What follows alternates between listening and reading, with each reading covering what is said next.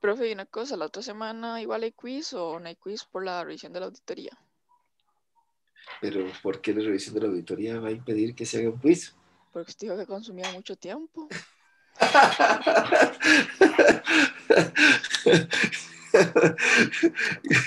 linda María Paula, lo que se, lo que, de donde saca los recursos, ya veo.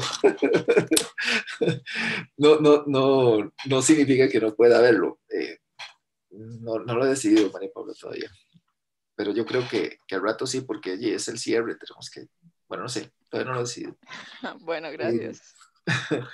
Eh, entonces, bueno, recapitulando, entonces, Hoy cerramos con, eh, esta semana, ¿verdad? Estamos cerrando con cierre, esperemos que así sea. En la siguiente semana estaríamos teniendo la auditoría de ejecución, monitoreo y control. Entonces, digamos que, que, que, no exactamente tenemos clases, sino que más bien lo que tenemos son los ejercicios que hacen conmigo como profe. En la semana 15 la vamos a ir en dos partes. La semana 15 va a tener una primera, una primera parte, el martes vamos a hablar sobre Scrum, pero para eso tienen que leer una lectura que ya está en el TEC Digital y que ya tienen que, se las estoy asignando desde ya, ahorita, en este momento oficialmente. Hay una lectura en el TEC Digital que eh, habla sobre Scrum, eh, que es como, digamos, son 15 páginas, una cosa así, de cómo es Scrum, y la deben leer para la semana 15, el martes de la semana 15. Okay, hay cualquier cosa, yo lo recuerdo de nuevo la, la semana que viene, pero deben tener, traerla leída. Eh, tal vez si no tenemos quiz esta semana que viene, pero sí tal vez tendremos entonces una actividad evaluativa con respecto a esa lectura, la que sigue. Entonces, eh, para que lo tengan ahí presente. Esa lectura es importante para poder hacer ese mapeo entre lo que significa Scrum, que se ve muy sencillo, ¿verdad? Pero asociado a lo que hemos visto durante toda la, todo el curso. Y la, eh, la segunda parte de la semana 15, me refiero al jueves, ese, día, lo que vamos a hacer es la auditoría de cierre. La auditoría de cierre es, super más, es más pequeña, ¿verdad? Vamos a ver si lo logramos ahí. Si no, trataríamos de, ver quiénes quedan por ahí por fuera y, si no, eh, lo haremos en tiempo extra clase. Pero eh, la, la, intención es que a la semana 15 estoy tratando de, de, de chicos. Estoy viendo cómo puedo cerrar todas las actividades antes del 16, ¿verdad? Eh, y de la semana 16, perdón, y que solo pues lo que quede sean elementos, digamos, fuera de clase. Entonces, bueno, a la semana 15, en el, en la, el jueves, estaríamos haciendo la auditoría de cierre, que es una auditoría relativamente corta, porque ya solamente es mostrar evidencias del, libro proyecto, que lo vamos a comentar hoy, en la clase de hoy. Eh, con eso cerramos auditorías, ¿verdad? Lo que puede quedar abierto todavía son los proyectos, pero que eso va a depender de las fechas que ustedes han venido, eh, digamos, manejando. Em, y la semana 16, ¿verdad? Todo esto es la perspectiva del cierre, ¿verdad? Entonces, para que lo vayan, vayan viendo, además de que muchos cursos cierran, entonces para que se vayan organizando. En la semana 16 vamos a tener el ansiado examen que Austin ha estado preocupado, bueno, ha estado expectante de él hace rato, porque creo que... Ya Pero la última clase. yo, ¿Cómo? No es que la última clase, cuando subí el quiz, ahí apareció 25%, y yo, uff. bueno, ese examen lo vamos a hacer en dos partes, y voy a tratar de mostrárselos un toquecito aquí para que os lo tengan presente. Voy a dibujar. La semana 16 lo vamos a hacer en dos partes, entonces. La primera, la primera parte, ¿verdad? Voy a dibujarlo por aquí. Que es lo que vamos a hacerlo en dos partes, ¿verdad? La primera parte va a ser la parte que le vamos a llamar un examen oral, grupal, a la vez, ¿verdad? Eh, este examen, lo que, lo que vamos a hacer, y de hecho, podríamos decir que es más un examen práctico. ¿Ok? Y este examen práctico está asociado a que, en primera instancia, yo les voy a pasar una práctica grandecilla de Project Professional. ¿Ok? Ustedes desarrollan como grupo, ¿verdad? Porque digamos que el examen es grupal, ¿verdad? Entonces, como grupo, deberían de desarrollar esa práctica y asegurar de que todos dominen Project Professional. ¿Por qué? Porque al día, entonces, martes de la semana 16, vamos a hacer entonces un examen oral práctico, ¿verdad? Donde el grupo va a tener que mostrar que domina Project Professional. Domina lo que hemos visto, ¿verdad? No, no, no es todo el paquete, sino lo que hemos visto, pero a partir de la práctica, que es una práctica más elaborada, eh, hacen esto y vamos a llegar pura vida acá. Lo que es importante también de distinguir es que en este, este, en este examen práctico eh, vamos a utilizar Project Professional, definitivamente, ¿verdad? Y va a tener la connotación de que las personas que llegan al examen, me refiero a cada grupo, porque como les dije es grupal, entonces tiene que ser con el, como han venido trabajando en su grupo, ¿verdad? En donde la diferencia es que el PM, aquí está el PM, ¿verdad? Este es el grupo, el PM debe procurar que su equipo esté a punto para hacer el examen. ¿Por qué? Porque el resultado va a ser, el resultado de la nota de este examen va a ser una, un resultado de nota grupal, pero las respuestas del examen son individuales. Vamos a ver, lo que quiero decir es, el examen va a tener un conjunto de preguntas que van a tener que revisarse. Conforme cada pregunta ocurra, yo como profesor, ¿verdad? Le voy a decir, digamos que este, este, este se llama fulano, este se llama perencejo, este se llama Pepe. Entonces yo, igual la P también. Y yo lo que voy a decirle es, ok, la pregunta uno, fulano, desarrollelo usted. Fulano tiene que hacerla, no puede tener ayuda de los demás y fulano tiene que responder. Si fulano responde bien, bien para todo el grupo. Si fulano responde mal, pues, pues se pierde para todo el grupo. O sea, esto, esta es la, dinámica que vamos a tener. Después le preguntaré a Perencejo con la siguiente pregunta, después le preguntaré a Pepe y así. ¿okay? Esta, es, esta es la dinámica, digamos, que, que, vamos a tener. De hecho, los, de, los que estuvieron conmigo en Break el semestre pasado, posiblemente les puede sonar más o menos similar. ¿okay? Eh, igual con comodines. podría haber algunos comodines, eso dice. O sea, a veces puede ser que lo hecho es que, eh, no sé, digamos que tal vez, eh, sí, digamos, fulano dice, uy, no sé, y puede ser que sí, use un comodín del 50%, pero eso se lo diré ya en su momento ahí, en, el, en el, caso que aplique. Todavía no estoy, no estoy seguro de eso. El punto es que, como es un examen grupal, ¿verdad? Lo importante es que al prepararse, se preparan, ¿verdad? Teniendo la idea de que todos tienen que saber. O sea, no es un trabajo individual, es un resultado del grupo. ¿Verdad? Entonces, eso es el, examen que vamos a hacer el martes de la semana 17. ¿Ok? El jueves, ah, bueno, y esto va a valer un 40% de la nota del examen final, o sea, el 25, un 40% del 25. El jueves es un examen escrito. individual, totalmente. Y este es un examen, digamos, pues más tradicional, en donde lo que van a hacer, digamos, es responder preguntas, que generalmente estas preguntas son preguntas de casos. ¿Ok? O sea, son casitos chiquititos, ¿verdad? Pero donde lo que tienen que hacer es aplicar la teoría, y este es todo el cuerpo de conocimiento que ustedes han estudiado, ¿verdad? La tienen que aplicar, ¿ok? A los casitos, ¿verdad? Que se van presentando allí. Esto vale el 60% del 25% que estaba diciendo Austin. Eso es lo que vamos a tener en la semana eh, que ¿verdad? Esta sería la semana 16 y termina el curso. Ahora, las notas no necesariamente las tenemos ahí todas completas, habría que ver. Podría ser que eh, eh, si nos ponemos de acuerdo, si hay un grupo que tal vez algo queda y aún así quiere después del 18 que revisemos algo, tal vez puede ser, y si no sería hasta, hasta enero, ¿verdad? Después de enero, cuando vuelve a arrancar el semestre 2, ¿verdad? Recuerden que el semestre 2 no termina el 18 de diciembre, lo que termina el 18 de diciembre nada más es el ciclo lectivo. Entonces, ¿para qué? Después del, después del periodo de vacaciones. No sabe. Volvemos. Creo que es como 15 de enero o 18, o por ahí, es un mes, cuatro semanas después. Ah, ok, ok. Es el 18 de enero. Ah, Ok. entonces parejo. Entonces queda ahí cort- cortado. Ajá. Y esas preguntas, digamos, esas, no, no quede claro, digamos, esas preguntas del martes van a ser eh, únicamente sobre el proyecto o van a ser como gen- más generales. No solo sobre el proyecto.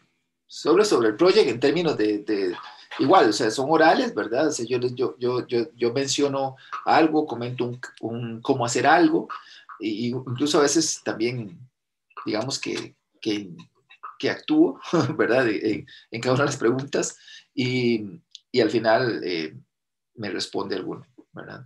Algunas veces puede ser que tal vez, eh, a veces, por ejemplo, digo cosas como, eh, AP, esta pregunta yo quiero que usted me diga quién la responde.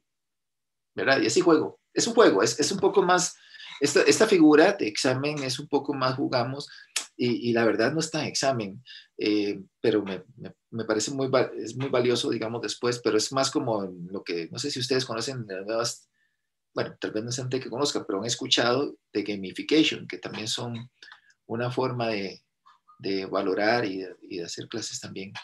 Entonces, la idea es que vamos a usar un poquito de esa técnica de gamification, bueno, o gamificación, o yo no sé, así le llaman, eh, que tiene que ver un poco con, con plantear escenarios como que parecen de juego. Entonces, esa es, esa es, esa es la intención. Ok. Pero eso es sobre Project, Luis. Entonces, Ok. no, no, no, no, no lo voy a, a ir más allá sobre Project. Ajá. Ok, Gracias. Adelante. Eh, ¿Alguien me manda a preguntar? Sí, eh, eso, esos casos, me imagino que va a ser un, un caso, ¿verdad? De un proyecto en el que uno va a tener que, que tomar una decisión. Entonces uno puede decir como que no, el proyecto es muy riesgoso y uno no, no toma el riesgo y abandona el proyecto. Puede Bueno. ser. Puede ser, pero en el caso de, la, de, esto de Project, ¿verdad? Es más sobre Project, ¿no? O sea, cómo se hace, eh, yo tengo este escenario donde tengo que hacer una replanificación de tareas y nada, cómo eso se logra hacer. Entonces, bueno. Ahora, el insumo que vamos a usar para el examen es esta práctica. O sea, ustedes la hacen y la llevan al examen. Pero para los casos, igual, igual va a ser respecto al proyecto. O sea, Ah, esto, esto, estos del... Ah, no, estos no necesariamente son de Project. No, la verdad no son de Project. Son, de la teoría. Ajá. se plantea un caso y uno tiene que tomar ahí el veredicto de que Exactamente, eso que me acaba, ahora sí te entiendo. Efectivamente, así es, eh, eh, ahí Esteban, así es. Digamos, puede ser que usted diga, sí, el proyecto debería descartarse, o, el- o no debería tomar el riesgo, eh, o considerar tal cosa. Puede ser que hayan varias eh, perspectivas, siempre y cuando estén justificadas. Ok. María Paula, Y digamos, esa parte escrita tenemos de 9 y media a 11 y 20 para hacerla o como una hora para hacerlo o como... dos horas, Ok, dos horas. Sí, sí. gracias. Ujú. Ahora, yo la, la- la- no creo que tenga las notas de ese examen eh, inmediatamente, ¿verdad? Pues así voy a tener que ir a revisar los 20 y resto de examen, 27 exámenes. Al, al, Alfonso, Profe, ese examen es sincrónico, ¿verdad? Como que todos nos conectamos a la hora de la clase y lo hacemos. todos nos conectamos a la hora de la clase y lo hacemos. sí, exactamente. Ahí yo, ahí eh, he estado dándole vueltas. No, últimamente no me ha gustado en esta modalidad de los exámenes así, como este, el segundo tipo, ¿verdad? Eh, porque sé que se presta para muchas cosas. eh, y, por eso es que prefiero a veces hacer un poco este tipo, otro examen, donde estoy seguro de que los que están, eh, están allí, bueno, en este caso es grupal, ¿verdad? Y entonces los estoy, estoy actuando con ellos, estoy interactuando con ellos. Ah, bueno, y en este, en este caso, eh, la cámara eh, tienen que tenerla activa en la medida posible. Si alguien no puede, pues lo habla conmigo antes, pero necesito estar seguro de que están ahí y, y o que no haya cosas por debajo, aunque es muy difícil, sé que, pero bueno, eh, para mitigar un poco esas cosas. Eh, ¿Algo más? Eh, sí, profe, yo tengo una pregunta. Ajá. Lo de la- digamos, cuando hacemos este, este examen oral, ¿va a ser como el semestre pasado que nosotros cogemos las fechas o usted las coge por nosotros? Y ya nos dice cómo conectes este día hasta ahora. No, estas son el martes en hora de clase. Ah, ok, ok, ok, ok. Nada más que yo, lo- yo los voy llamando, ¿verdad? Si no nos alcanza el tiempo, Entonces sí tendríamos que ver cómo lo, manejamos después. Pero yo esperaría que, eh, dado que termina, puede ser que tal vez no, terminemos a las once y media, pero tal vez podamos todavía tomar hasta las 12. De todas formas, no todos van a estar conectados, el único que va a estar conectado soy yo, ¿verdad? Todo el tiempo. Eh, y lo, yo los estoy llamando, ¿verdad? Pero la idea es que lo podamos completar ese martes en el tiempo de clase. ¿Está claro, no? Sí, profe. Ok. ¿Alguna otra pregunta? O sea, lo que quería darles ahorita con esta primera parte era que tuvieran una idea más o menos del cierre, ¿verdad? Del cierre del semestre, eh, porque entonces vean que de camino hay eh, la, la, auditoría de monitoreo y control, que esa probablemente la están haciendo, y bueno, que la terminamos de revisar eh, la, la, próxima semana, pero en esa semana ya deberían de pensar en que deberían de leer la lectura de Scrum, ¿verdad? Que ya hay, digamos que puede ser todavía que tenga esta semana y un poquito más. Eh, y también eh, la auditoría de cierre, que es lo que va por ahí, y la práctica, que sería para la semana 16, para que la, de, decidan cómo la van a manejar. Lo que quiero aquí es que el AP aquí va a tomar un rol muy importante porque va a tener una tarea de que su grupo esté bien, que su grupo esté a punto para poder tomar el examen. ¿verdad? Entonces, ¿cómo lo organizan? No sé. ¿Qué van a hacer? No lo sé.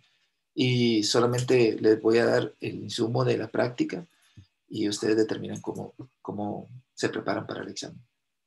¿Ok? Profe, ¿y con qué tanta antelación se nos deja esa práctica? Se las puedo dejar entre hoy y mañana. Ah, ok, gracias. ¿Algo más? Pura vida. Entonces, listo chicos, voy a volver y vamos más bien a empezar a la clase de hoy.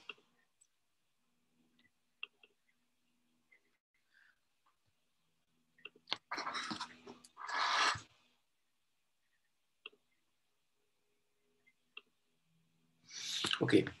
Bueno, ya estamos en punto, ¿verdad? Donde podemos decir que el, el, proyecto lo hemos iniciado, lo hemos planificado, lo hemos ejecutado, pero a la vez de que lo ejecutamos, lo estamos monitoreando, determinamos varianzas, aquí ya estoy yéndome como lo último que vimos, ¿verdad?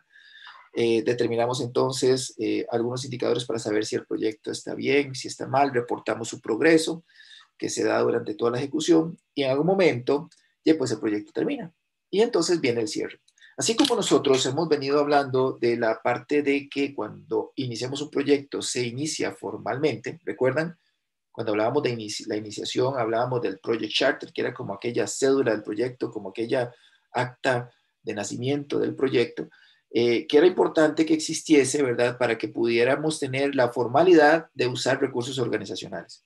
Y en todo proyecto, no importa si es altamente adaptable, altamente predecible, va a haber algún tipo de mandato de que el proyecto puede usarse, el proyecto puede usar recursos organizacionales, la plata, personas, etcétera.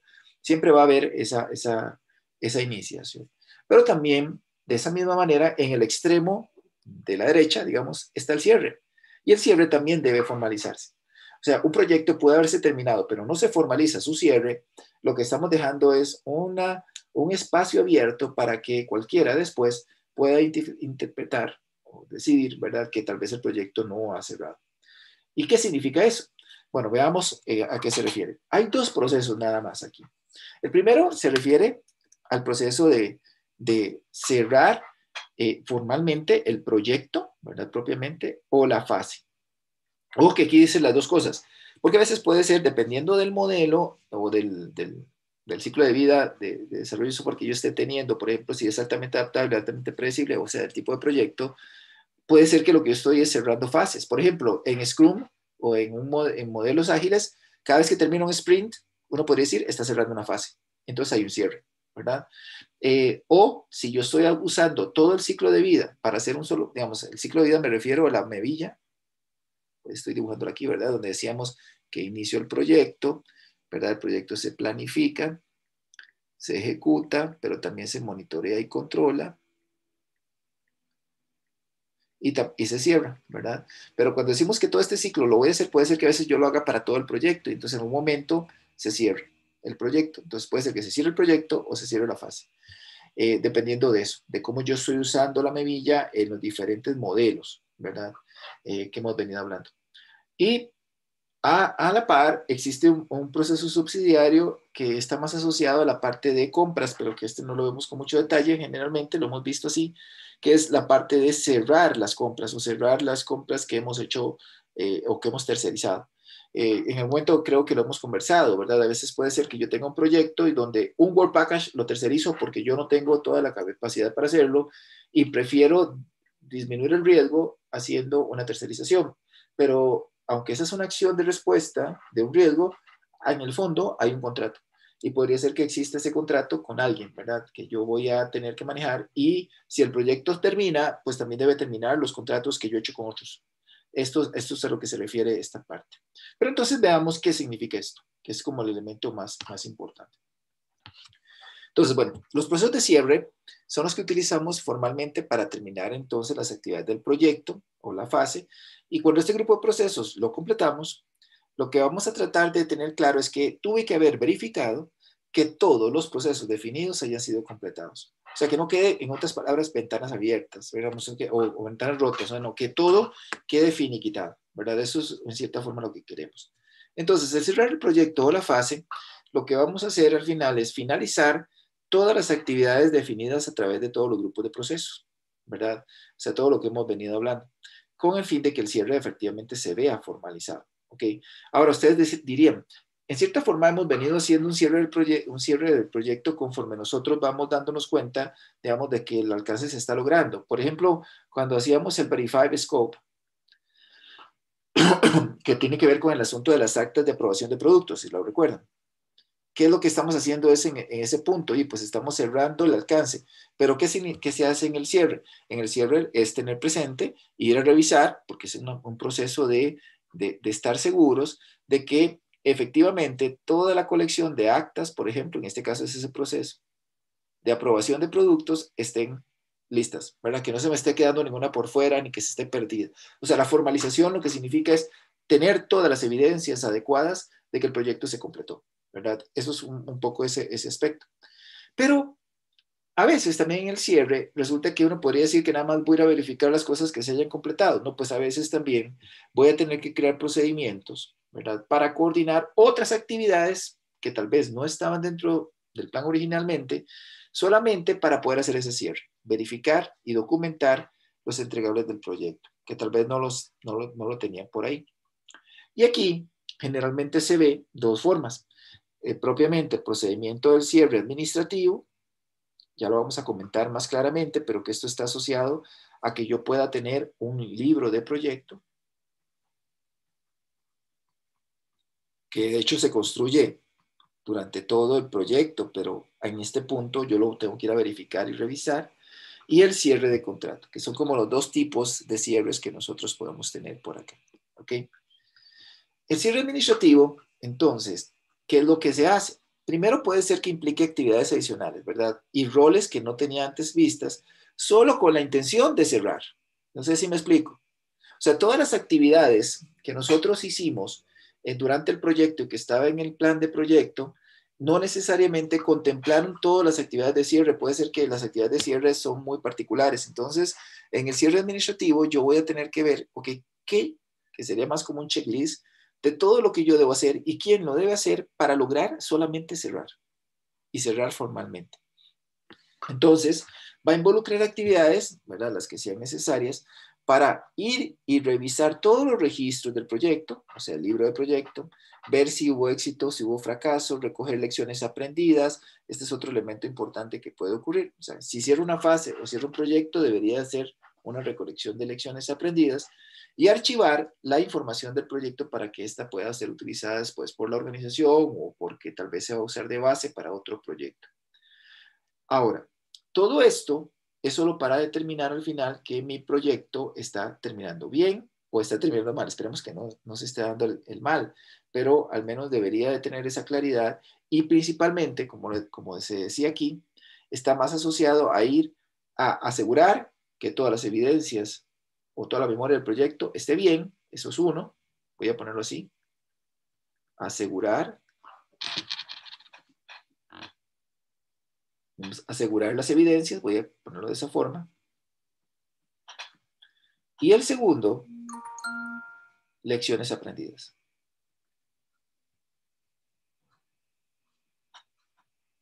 ¿Ok? Son los dos elementos importantes que pueden verse desde el punto de vista de las actividades que debo hacer para cerrar. Pero hay otro conjunto de actividades que a veces no las tengo, que se refieren a establecer los, el Hanover. ¿Y qué es el Hanover? Lo que hace el Hanover es establecer los procedimientos para transferir entonces el resultado del proyecto, o sea, transferir los productos o servicios que generó el proyecto a la organización. ¿Ok? Ese Hanover es muy importante. Vamos a ver, ¿y qué significa eso? Voy a ir a la pizarra un momento.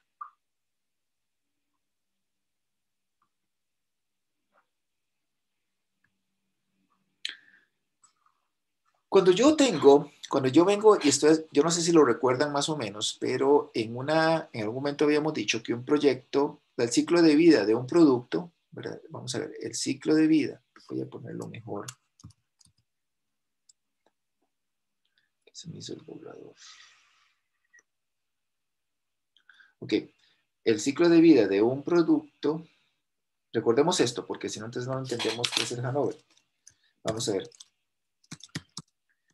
de vida de un producto, esto estaba definido porque tenía los siguientes aspectos, las siguientes características. Primero, el, el producto nacía probablemente de una idea que la organización establecía, perdón, acá, una idea, y que esa idea puede ser que venga de un plan estratégico, según habíamos definido en algún momento, y si la idea se, concuerda, se completa y la idea se aprueba, y se dice, la idea está muy chiva, el plan estratégico dice qué es lo que tenemos que hacer, y entonces decimos, ok, esa idea, pura vida, va. Entonces, ¿qué pasaba después? Bueno, que venía y se hacía el proyecto. O sea, el proyecto nace de una idea que en algún momento se establece, puede ser de, del plan estratégico que dijimos en algún momento. Queremos vender un 25% más el próximo año, y hay que desarrollar un nuevo software. Esta es la idea. Se aprueba el plan estratégico, entonces tenemos un mandato. ¿Ok? De aquí es de donde nosotros podemos decir que salió o surgió, ¿verdad? El Project Charter, que cierta forma nos dio la idea de que teníamos que arrancar con esto, nos dieron recursos y tenemos el Project Charter. Y que a partir de ese Project Charter entonces empieza el proyecto. ¿Ok? Todo esto ya lo hemos conversado en algún momento. Entonces viene el proyecto el proyecto se ejecuta, ¿verdad? Para hacer esta idea de producto. Entonces, según vimos, ¿verdad? Pues el proyecto pues va, va a hacerse y posiblemente pues va a cubrir todo su ciclo de vida, en el sentido de que este proyecto pues va a iniciar, ¿verdad? Se va a planificar, se va a ejecutar, se va a monitorear y controlar y en algún momento se va a cerrar. Pero, ¿qué pasa? Entonces, lo que se espera en, este punto es que cuando yo cierro el proyecto, ¿qué ocurre? Que voy a tener un producto ya terminado. En primera instancia, lo que yo esperaba hacer acá. Entonces, el resultado de esto es que voy a tener un producto. Ese producto puede ser un servicio, puede ser un producto, puede ser un bien, yo qué sé. Lo que al final se esperaba que el, el proyecto generara, este producto. ¿Ok? Pero ¿qué pasa cuando se cierra el proyecto? ¿Qué pasa con la gente que, se va, que estaba aquí? Vamos a ver qué piensan. Eh, voy a preguntarle algo. Eh, Aner, ¿qué, ¿qué piensas? ¿Qué pasaría con la gente una vez terminado el proyecto? Aquí teníamos, no sé si me, si me estoy dando a explicar, aquí yo tenía eh, un conjunto de personas que ya vimos que fueron asignadas para hacer el proyecto. El proyecto termina y si el proyecto termina, ¿qué pasa? Que toda esta organización que en un momento definimos en el planning que se tenía que tener para hacer el proyecto, recuerden que el proyecto fue una organización temporal, tenía un inicio, acá inició y acá terminó. ¿Qué pasa entonces?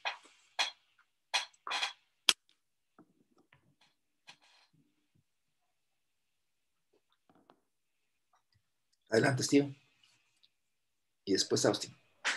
Profe, no, ellos, digamos, luego que termina el proyecto no hay, no se le da como un periodo de prueba o algo así, y entonces el equipo tiene que continuar por ahí medio unido por cualquier situación que pueda ocurrir o algo así.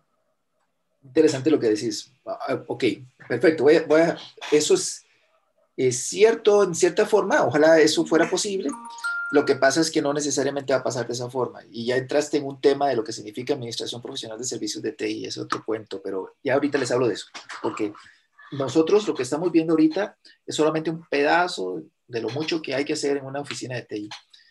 Gracias. Eh, eh, ya me olvidó quién fue el que participó. eh, Austin, adelante.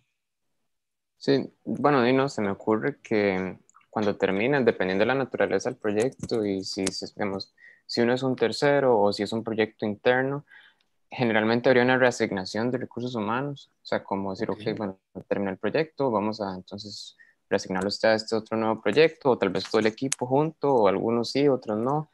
Exacto. o sea, hay, el proyecto cuando cierra, ¿verdad? Aquí cuando se hace el cierre, ¿verdad? Aquí esto.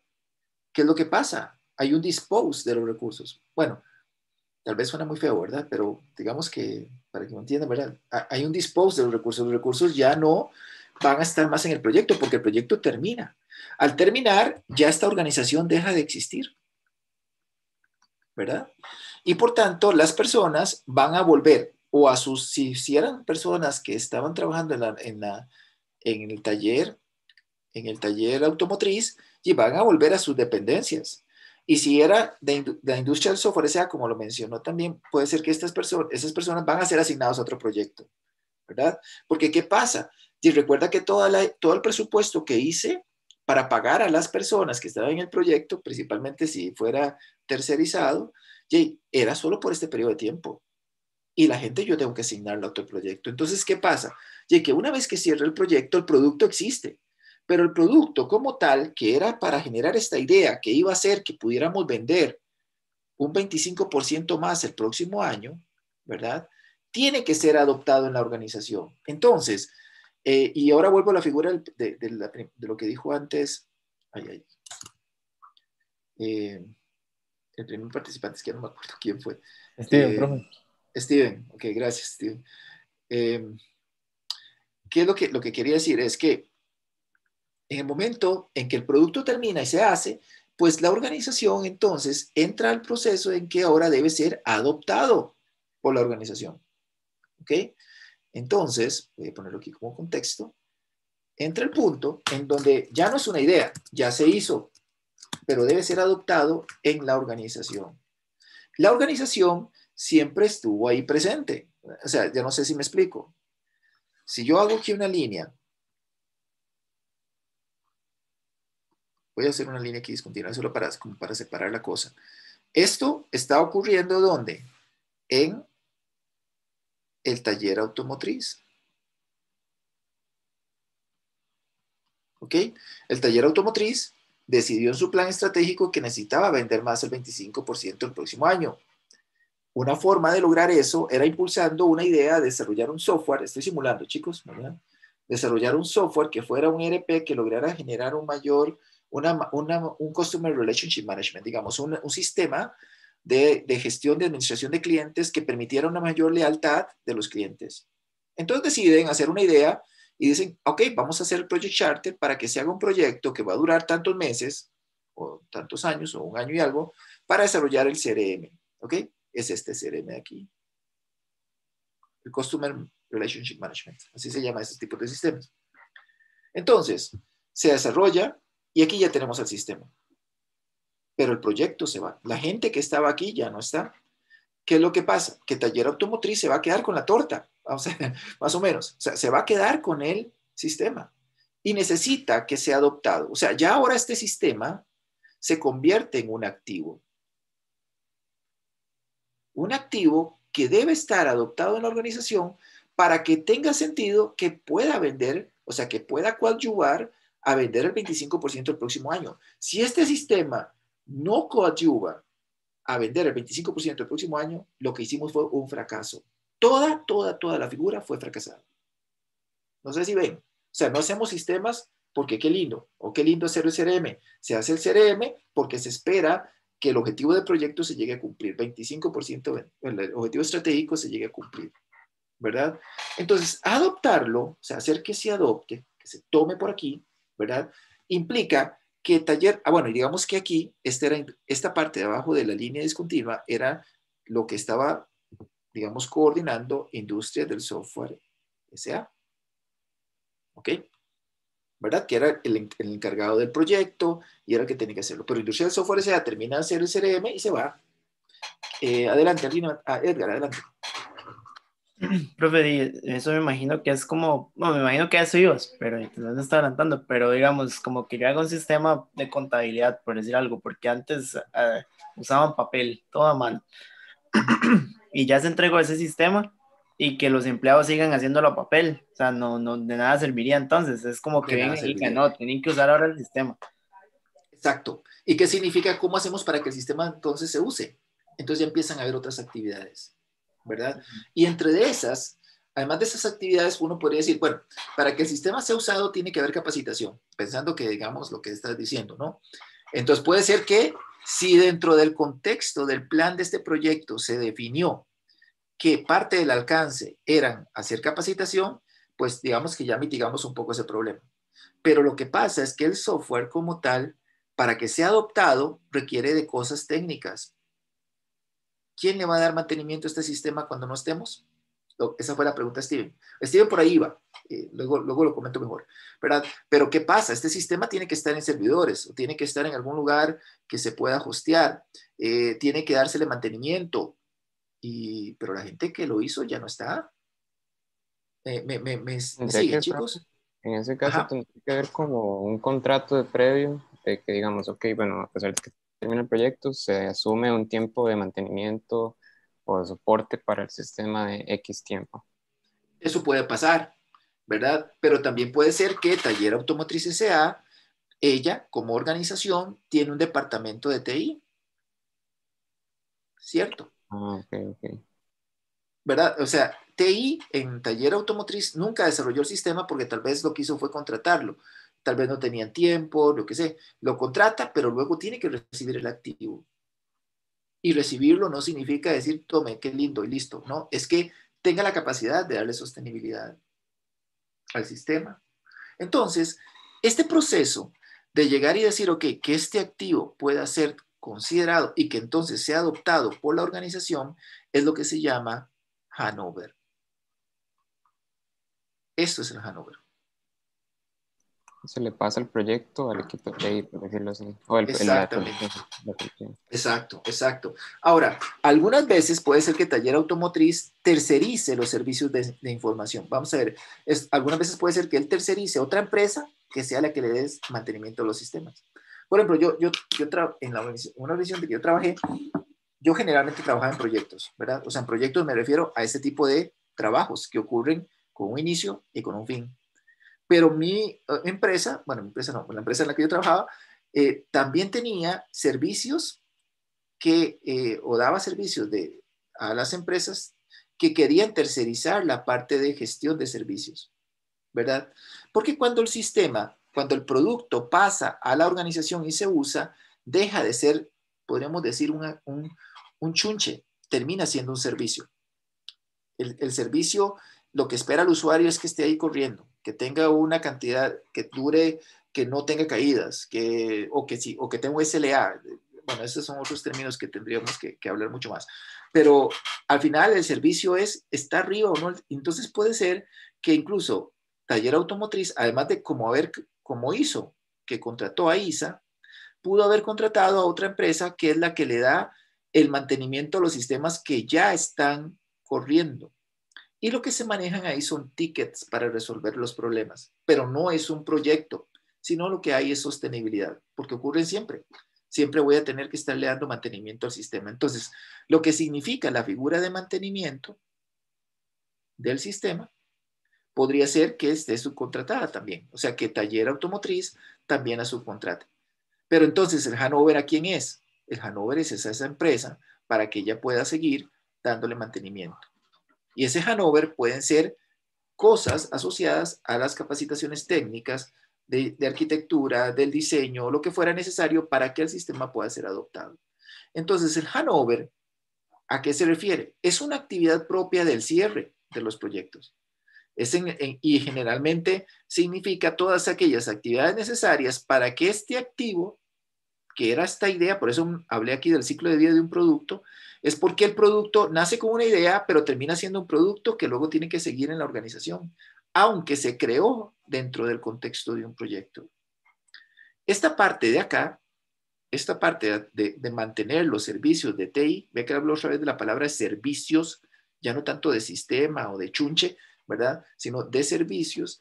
Esto generalmente se utiliza un cuerpo de conocimiento, así como hemos hablado del PEMBOK como el cuerpo de conocimiento para acá, que se llama ITIL.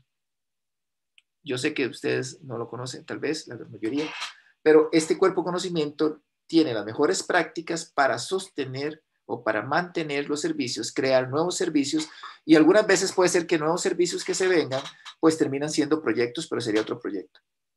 ¿Ok? Ahora, cuando me dijiste, Austin mencionó, eh, podría ser que entonces yo debería de haber metido dentro del proyecto de que tenía un mes de mantenimiento y puede ser, pero lo metiste dentro del alcance, entonces estaba dentro del alcance, pero una vez terminado el mes de mantenimiento se va, se acabó. ¿Y qué pasa? Y siempre vas a tener que hacer un handover, porque alguien tiene que seguir manteniendo el sistema. ¿Lo, ves, Austin? Sí, o sea, no es como que el, equipo que desarrolla el proyecto, bueno, el, sí, el equipo del proyecto que desarrolla el producto va a quedar ahí para siempre. O sea, tiene que... Pues exactamente no lo tenés para siempre. El, el hijito. sí, sí, sí, somos como, ¿verdad? Tenemos hijos y los dejamos y los abandonamos, ¿verdad? Los abandonamos en manos de otros, digamos, más o menos. Si, es que está, está, si es que estamos hablando de esta figura. Ahora, hay organizaciones en donde tal vez, como decir, taller automotriz que desarrolla lo interno sin contratar, en la buena práctica es los que hacen proyectos, deberían de hacer proyectos e irse para otro. Porque las personas que hacen proyectos generalmente tienen skills distintos a las personas que solo mantienen.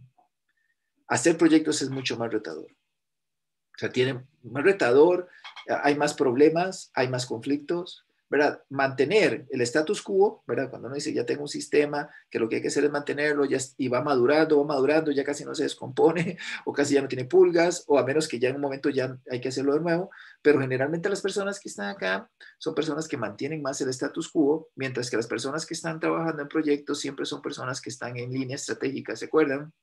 En el cuadrante de oro. O sea, que siempre están haciendo cosas nuevas y esto pues genera pues más, más fricción en esta parte no tanto. Pero entonces, porque ustedes cuando vayan a trabajar, eh, puede ser que ustedes en un momento puedan hacer labores, ya sea de aquí, de este mundo, o labores de este mundo.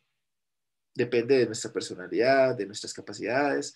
Eh, ojalá, digamos, por ejemplo, cuando ustedes vayan a hacer la, la, práctica, a veces yo he notado, a veces hay personas, van, hacen la práctica, si son organizaciones como taller automotriz, terminan haciendo la práctica y luego le siguen dando mantenimiento. Pero ¿qué pasa? Luego de esto, los sistemas, eh, taller automotriz no va a estar haciendo sistemas cada rato. Entonces terminan haciendo mantenimiento durante mucho tiempo y a veces pues puedan perder algún tipo de perspectiva técnica, porque entonces se quedan en el status quo, pero a veces hay personas que se ocupan de ese nivel aquí. Pero ¿qué pasa si yo más bien estoy en una organización como Industria de Software S.A. que siempre está haciendo proyectos? La dinámica es muy fuerte siempre porque va a tener que estar haciendo proyectos nuevos, estar aprendiendo siempre más, porque siempre va a ir a ofrecer nuevos proyectos a otras organizaciones. ¿De qué depende esto? Que vean, taller automotriz, su core business no es hacer TI. ISA, su core business sí es hacer TI.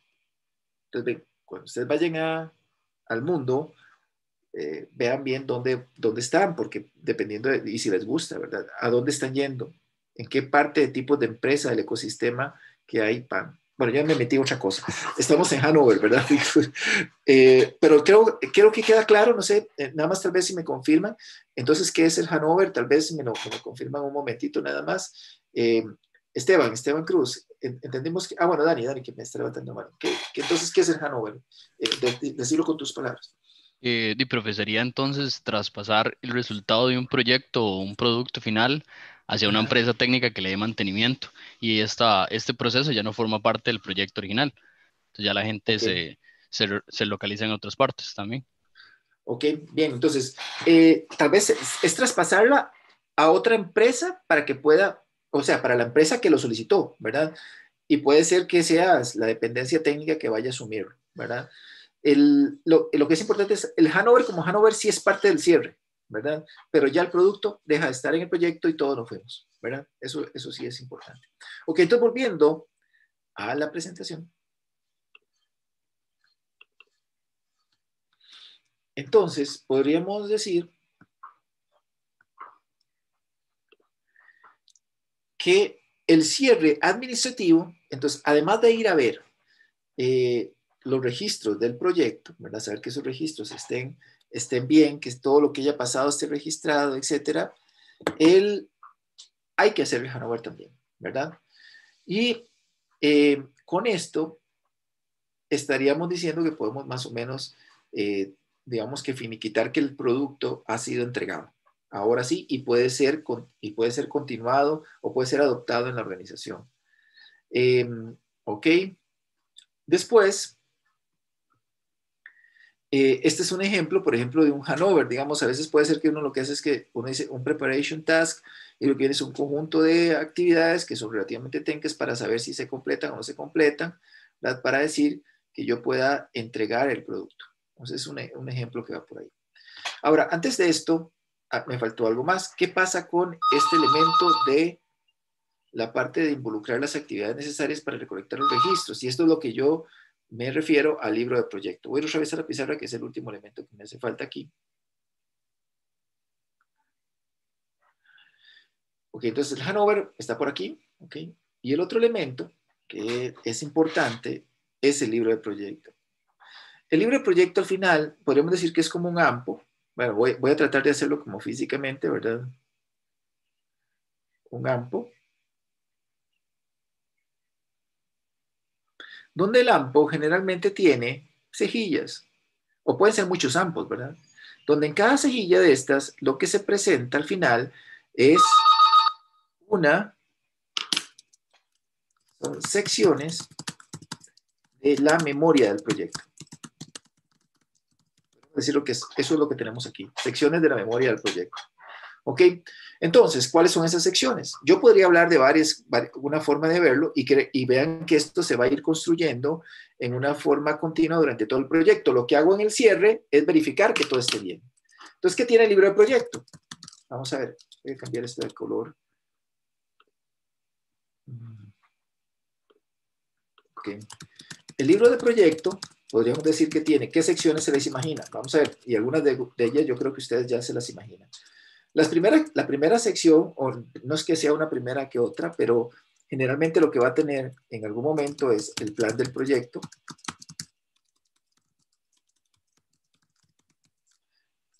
Antes del plan del proyecto voy a ponerle mejor el charter del proyecto. O, sí, el, charter del proyecto, qué fue lo que nos dio pie a poder hacer el proyecto, el plan del proyecto, ¿verdad? Los entregables, o podríamos decir los entregables, ¿cómo se ven? O sea, si vemos, voy a poner aquí las actas constitutivas, las actas de aprobación de productos, entregables, ¿ok? Recuerden que esto que está representando, si ustedes ven esto lo que representa es la ejecución. Es la memoria, la sección de la memoria que dice que el proyecto se ejecuta. Recuerdan que la ejecución, el principal resultado de la ejecución es los entregables. ¿Cómo doy evidencia de que se dio? Por medio de las actas. ¿Ok? ¿Qué otra cosa tenemos también por ahí? Tenemos las minutas, porque es parte importante. Las cartas o oficios, que representen cosas que no vayamos a perdernos por ahí. Además que tendríamos informes de avance. Todo esto ya lo hemos visto, ¿verdad? Por cada uno de estos temas hemos hablado tanto. Informes de avance, si es que corresponde. Eh, incluso luego vamos a hacer el mapeo de esto contra Scrum, ¿verdad? Porque alguna gente piensa que no existe estas cosas en Scrum. Sí existen, pero existen en un formato distinto y muy ágil, que es la intención. Eh, ¿Qué más? Tenemos Control de cambios, muy bien. ¿Ves? Perfecto. Ven ahí donde van las cosas. Pues, control de cambios, ¿verdad? Y ahí van todos los números, ¿verdad? Entonces hay control de cambio 1, 2, 3, 4, aprobado, no aprobado, etcétera. Ahí van quedando. Todos son formularios independientes, ¿verdad? Y también, digamos que podríamos decir que está el finiquito del proyecto. Este finiquito del proyecto es una acta de cierre del proyecto, que es parte del cierre, pero que es una acta que dice, todos estamos muy felices y, contentos, digamos, si podemos decir, y cerramos. Y se llama así, finiquito del proyecto. Y por último, tal vez habrá algo más, no sé, pero las lecciones aprendidas. Adelante, Esteban. Profe, ese informes de avance son lo de las verificaciones de los entregables. Los informes de avance es lo que vimos la, la, clase pasada, de, donde, registrar, donde reportamos el progreso, el, registramos el performance del proyecto, donde decimos, eh, recuerden que es un documento por periodo, a una fecha de corte, por cada fecha de corte íbamos haciendo documentitos ah, donde informamos cómo va el proyecto, a eso se refiere. ¿Ok? Entonces, si ustedes ven, yo no sé si están viendo, que, que tiene el libro de proyecto al final. Vean que cada una de estas cosas representan las etapas que tiene un proyecto. Vean, esto, ¿qué, representa? La iniciación. Este, el planning, podríamos decir. ¿ok? Actas de aprobación de entregables representa la ejecución, bueno, podríamos decir, y las minutas y las cartas, podríamos decir, es ejecución. Informes de avance, control de cambios, ¿qué es? Monitoreo y control. Y finiquito y lecciones aprendidas, cierre. ¿Ven qué es lo que estamos teniendo? ¿Qué pasó en todo el proyecto? Ahora, cada uno de estos, vean, chicos, que todos estos tienen mucha tela que cortar, ¿verdad? Eh, ¿qué, piensan al respecto de esto? Cuando digo tiene mucha tela que cortar, ¿qué, se les viene, está viniendo a la cabeza eh, en, este punto? Tal vez. Eh, Andrés, Andrés Ulloa, ¿qué piensas? como profe lo que me refiero es, o sea, si yo, si, imagínate que estás en la primera clase y yo pinto esto, versus ahora que les estoy mostrando, lo vuelvo a pintar, pero con estas, con, lo vuelvo a pintar, hay, un gran, hay una gran diferencia en el entendimiento, ¿verdad? O sea, ¿qué entenderías? No entendería la dimensión de cada una de esas líneas en la primera clase a hoy y de lo que significa. De profe, en la primera clase lo que o sea, lo hubiera podido leer y me hubiera confundido todo, porque no sé qué se refiere con cada uno de los pasos. Podría, podría hacer como, digamos, una suposición de alguno de ellos, pero hasta este momento podría entenderlo bien, ya que Ahora, por ejemplo, tuve, que hacerlos cada uno de ellos. Sí, sí, ok, porque por ejemplo, minuta uno entiende que es una minuta, ¿verdad? La puede entender fácilmente sin haber pasado por el curso. Sí, sí. Pero ¿cuánto hablamos de minutas? ¿Verdad? Hablamos de que tienen que ser o sea, que son eh, multilaterales, que son importantes para... ¿ves? Todo ese otro elemento no, no, no, lo vimos. ¿Qué se diga del plan de proyectos? ¿Cuánta dimensión significa eso? ¿Verdad? Que hemos conversado y que hemos visto, ¿verdad? Que está, que está asociado por ahí. Bueno, entonces, que este es el libro proyecto. Entonces, lo que quiero decir es, esto lo vacías, digamos, en esta parte, y a veces uno puede ser que este libro esté ampo, ¿verdad? Ampo. Bueno, dice ampo, digamos. Este, este AMPO, pues puede ser que, bueno, en este caso lo estoy viendo como físico, pero podría ser digital. En este caso, de todas formas, ustedes van a tener que ser uno digital. Entonces, ¿cuál es el cierre, la auditoría de cierre? La auditoría de cierre que ustedes van a tener que hacer es presentar el libro de proyecto con las dos aspectos principalmente adicionales. Finiquito del proyecto, lecciones aprendidas, ah, bueno, y el Hanover tal vez, que aquí no lo, no lo puse. Digamos que tal vez faltaba ahí de Hanover, si es que, eh, digamos, se tenía que, hacer. ¿Ok? Eh, perdón, perdón. Voy a ponerlo acá para que no se nos quede botado.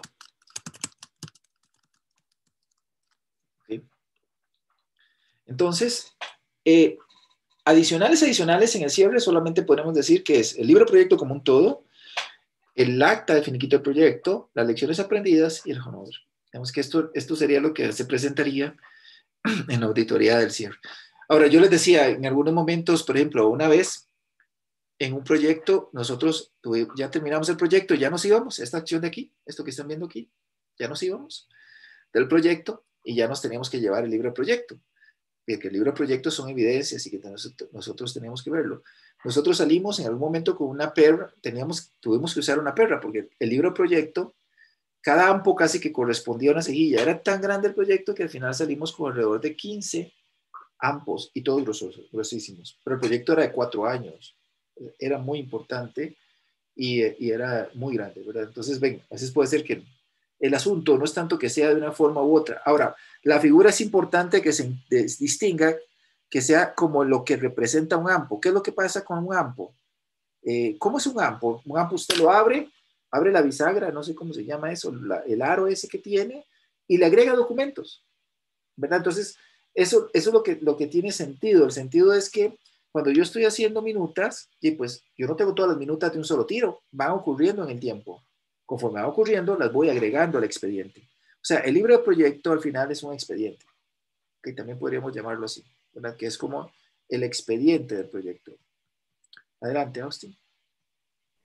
Profe, una pregunta. Y lo digo también porque, bueno, yo, yo he sido asistente en la, Escuela de Ciencias del Lenguaje y ahí tienen eh, libros de actas de todos los memos y cosas que hayan, ¿verdad? Se hayan realizado años anteriores. Entonces tienen un montón de libros, ¿verdad? Tienen una gaveta llenísima y, y de eso lo tienen ahí como un historial. Lo que digo yo es, ¿qué, ¿qué, tan necesario, o sea, a la larga, o qué tan beneficioso es mantener todo eso? O sea, yo sé que, digamos, por ejemplo, si sucede una eventualidad, entonces uno puede ir hacia atrás y ver, ah, no, mira, aquí se confirmó tal fecha que sucedió esto. Pero, eh, no sé, un montón es que En el, caso, en el caso de los departamentos como el técnico, es más, de hecho, son muy burocráticos, más burocráticos todavía. Eh, pero es que de tal, de, tal de, de eso hay principalmente un principio de legalidad, ¿verdad? porque cada órgano colegiado tiene una figura legal y tiene que responder por sus actos. No registrar lo que se acuerda eh, se genera un problema. O incluso, incluso en una, en, una, en una empresa privada, por ejemplo, en la parte contable, tiene que llevar registros de los cinco, cinco años de registros. Y eso es un expediente también. Aunque estés en la parte privada, me refiero a la parte financiera, propiamente. Nosotros es que no vemos eso, entonces creemos que el mundo no tiene eso, pero no, está lleno de esas cosas. Lo que pasa en nuestros proyectos es que usted hace esto porque usted no puede darse el lujo de que usted fue contratado y luego te hagan una demanda porque no cumpliste. ¿Cómo demuestras eso? Si usted no tiene, por ejemplo, las actas de aprobación entregadas. Sí, ese, es el, principal beneficio, siento yo. Sí, eso es. Ahora, em, una vez que te vas y tal vez pasó de ya, no sé, un año y usted dice, descarto todo esto, listo, ¿verdad? O lo tengo por ahí, tal vez en digital o lo, lo que fuera, digamos. Pues puede ser que se quede por ahí. Ahora, esto debería salir en forma natural.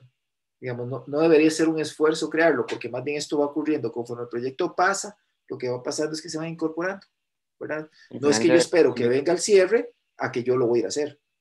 No, en forma natural debería de salir. Si no, más bien, uff, sería incomodísimo. Y además sería un montón de trabajo. No sé si, si me explico. Sí, sí, no, es que yo, tal vez es como si tanto papeleo, tal vez haciéndolo digital sería como mucho, o sea, así uno no lo ve. Ah, sí, y puede ser digital, o sea, yo aquí lo presento así, pero para entender la figura de AMPO, de que usted abre la argolla y mete un nuevo elemento esta semana y otro elemento más la otra semana y así, pero puede ser digital, siempre y cuando sea formalmente válido, ¿verdad? O sea, por ejemplo, si yo tengo las actas de producción de entregables y la firma es firma digital, eh, por dicha tenemos ya una ley que nos lo permite y nos lo faculta. O sea, ya ahora con firma digital vale igual que la firma de puño y letra. Profe, y, pregunto así como aparte, ¿cómo funciona eso de la firma digital? que no sé. Eh, ¿En qué sentido, O sea, digamos, ¿qué, consiste una firma digital válida? O sea, ah, bueno, es que para tener una firma digital, ¿verdad? Esto tiene que ver más con cripto. Hay una criptografía y otras cosas más allí, ¿verdad? Pero lo que hay es que el Banco Central, tal vez el modelo, como el modelo que se entendería para todo el mundo es, el Banco Central tiene una raíz, eh, maneja una raíz ahí de llave, de llave privada. Es un concepto de llave pública y llave privada, no sé si alguna vez lo han oído. Y esta, el Banco Central tiene la raíz país. Y eso hace que luego, cuando yo pido una llave, una firma digital, se asocia a mi número de cédula, ¿verdad? Y el, quien crea las firmas digitales, al final lo que hacen es crear una, una nueva llave, digamos, que es para mí, la mía, privada, que, está en un, en un chipcito que es como una, tarjeta, como una tarjeta de crédito, no sé si las han visto. Y esta tarjeta de crédito es la que yo uso para firmar. ¿verdad? Entonces siempre se toma esa llave y eso representa, cuando se hace la firma, el, tiene hecho que estar conectado a Internet porque hace un timestamp que tiene que ir al Banco Central para revisar, saber la validez del tiempo y otras cosas más. Eh, con eso lo que hace al, al, al, final es como garantizar el no repudio, que es el concepto de fondo, es que cuando yo firmo digitalmente no puedo repudiar lo que firmé y, y dar el chance de decir que eso no, fue, no fui yo quien lo hice. Eh, hay, un concepto técnico de fondo, dicho, mucho más elaborado que esto que estoy diciendo, pero por dicha en un momento en la ley, en nuestra legislación, ya se permite y se ve como legal. Entonces, eh, tiene el mismo efecto. Y si es así, entonces yo puedo tener todo digital. ¿no? Pero en el documento que uno firma, ahí sale la firma de uno. ¿Qué pasa? ¿Sale el numerito? Es que, no, sale, sale, es como un sellillo aunque detrás, ¿verdad? Eh, está toda la parte de, de, seguridad informática que se le incorpora, ¿verdad? Con llave pública, llave privada, pero es un sellillo, dice, firmado por Mauricio Arroyo, taca, taca, fecha tal, hora tal, y eso fue en el Banco en el, que, que, tiene que ir hasta el Banco Central. Ahora, el Banco Central maneja en una bóveda, yo la, yo la conocí en el momento, es una máquina relativamente sencilla, ¿verdad? Pero que lo único que hace es manejar el certificado raíz. Y y está custodiadísimo, o sea, están las bóvedas de, del Banco Central, las bóvedas donde se manejaba el dinero, ¿verdad? El dinero efectivo. Pero ahí también está dentro de eso, dentro de la bóveda, hay otra bóveda donde está la, la máquina que tiene la, los certificados, digamos, que nos, que nos garantizan esa cosa. Entonces, ese es el, el sentido. De hecho, no sé, ¿nunca has visto un documento digital firmado? No. Yo creo que sí es, ah, bueno, creo que, bueno, yo había visto uno que aparece como firmado por la persona y creo que tenía como un símbolo de Adobe, no sé por qué. Exacto, porque Adobe es un, es un, es un lector de, de este tipo de, de servicio. Eh, sí, es así. Eso es lo que, lo que hace. Ahora, solo son válidos digitalmente. Si usted lo imprime, no es válido. Uh -huh, okay. no, o sea, no, se pueden usar, no se pueden usar físicamente. Ok, bueno, en fin, eh, creo que con eso estamos más o menos eh, pues ya claros, ¿verdad?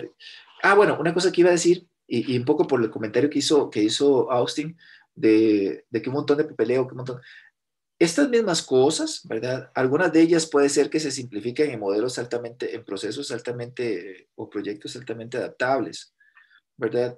¿Por qué? Porque si existen estas figuras, lo vamos a ver en la clase que les decía en la semana 15, vamos a tratar de hacer ese mapeo, donde estas cosas como concepto de fondo, la mayoría están allí, de alguna forma. Lo que pasa es que no entramos en documentar tanto y existen otros elementos que nos ayudan a poder estar seguros de eso.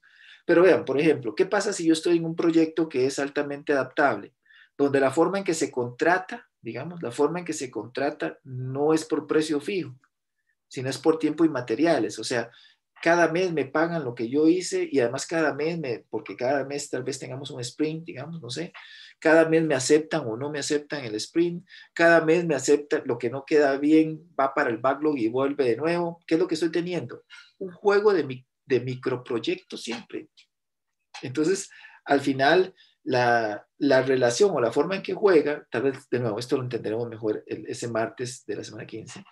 Eh, la relación es tan distinta que me permite sentirme tan tranquilo en que la parte contractual no termina siendo tan requete relevante porque cada mes se resetea. Mientras que si yo tengo un proyecto con el sector público, por ejemplo, no te van a permitir un proyecto manejado generalmente por, por tiempo y materiales.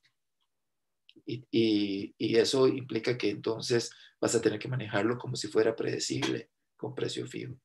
Entonces, las, las, figuras están, pero las figuras ahí mismo están. Lo que pasa es que puede ser que tengamos, digamos, medios distintos para representar estas cosas que van a estar allí. De momento yo tengo que contarles todo el cuento. Ustedes luego tropicalizarán. Verán qué hacemos con eso. Ok. Eh, además, por ejemplo, en el, el, el, alcance, ¿verdad? En un proyecto altamente adaptable, el hecho de que tengas un product owner ahí constantemente contigo, casi que estás diciendo que estás teniendo un, al, un alcance que siempre está en una persona y no en un documento. Entonces, claro, puedo dejarme, los documentos los puedo tirar por la borda, pero si no es eso.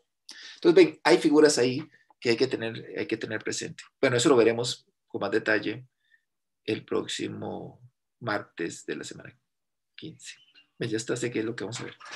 Ok, ¿Algo más eh, por aquí? ¿Algún otro comentario? Ok. Yo lo que espero al final es que ustedes vean que muchos de estos aspectos que hemos hablado aquí, aunque suenan a que es documentación, ojalá que hayan percibido que no es lo mismo que documentar el sistema, lo que nos aburre mucho, ¿verdad?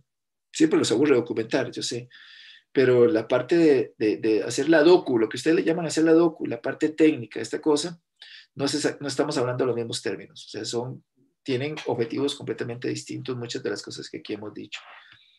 Ahora, también, por ejemplo, yo puedo documentar lecciones aprendidas y si no las documento, entonces nunca quedó la memoria. Y luego viene otro proyecto donde es parecido y nunca aprendí porque nunca las pude ver. Entonces puede ser que a veces ISA mantenga la posibilidad de tener lecciones aprendidas en algún lado como un banco de, un área, de un knowledge base, de una base de conocimiento que se va generando conforme van haciendo proyectos durante toda la vida de la empresa. Pero ¿y si no hago esto? pero va a ser que voy a, voy a estar condenado a estar repitiendo los mismos errores. Ven, aquí, aquí tiene que ver con madurez y otras cosas más. Bueno, eh, sí. que me interrumpo otra vez. en su experiencia, eh, ¿se usaban mucho, o sea, se, se, revisaban las lecciones aprendidas?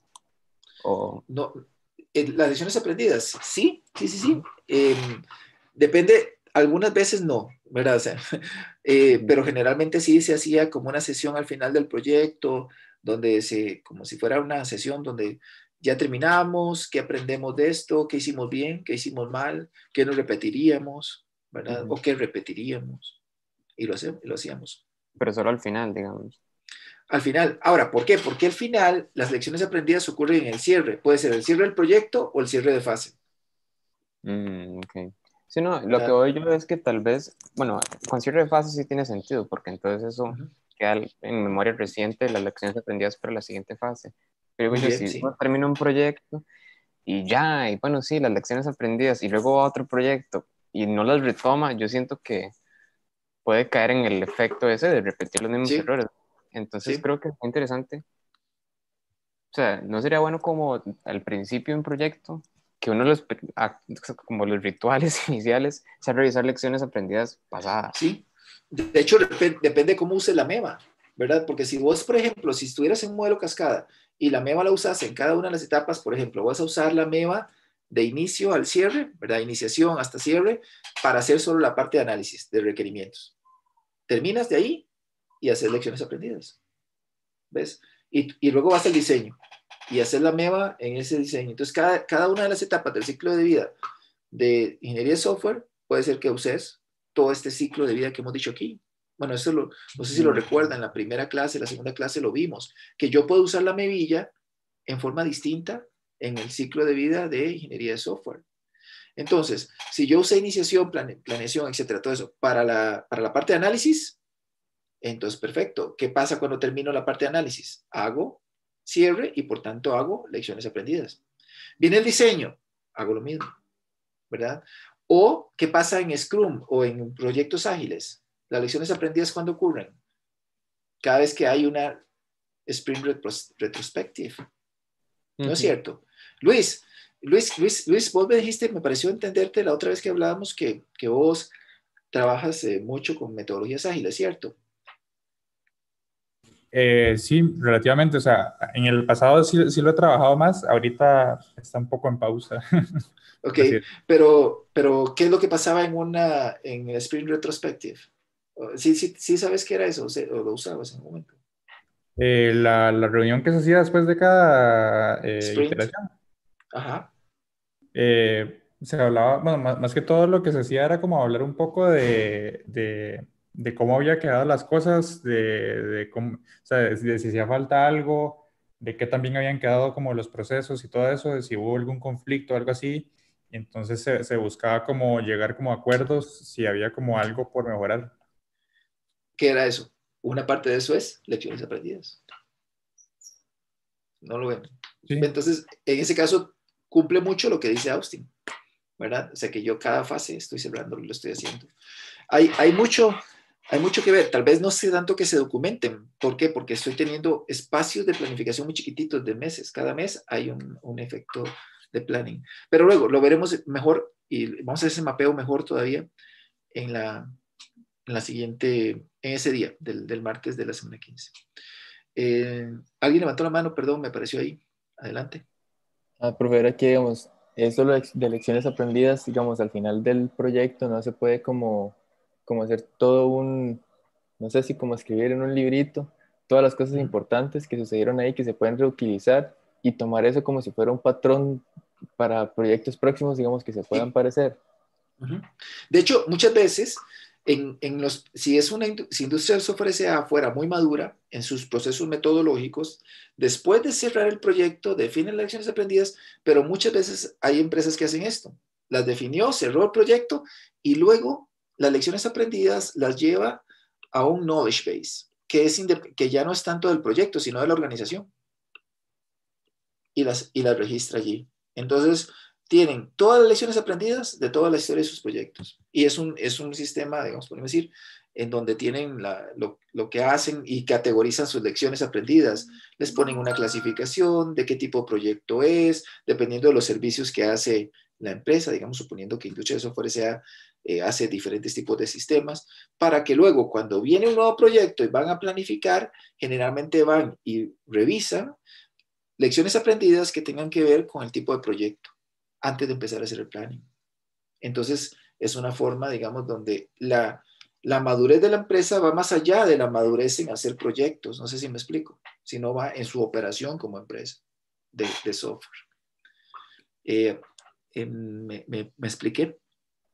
Sí, sí, pues era eso, digamos, que, que lo llevaran así como, digamos, a un knowledge base y ya en el próximo ya saben cómo hacerlo y más o menos que ya tienen como una estructura, digamos, base de cómo ir manejando todo. Exacto. Exacto. Pero vea qué pasaría si yo no tengo implementado una gestión de proyectos que saque lecciones aprendidas. ¿Cómo se llena este knowledge base?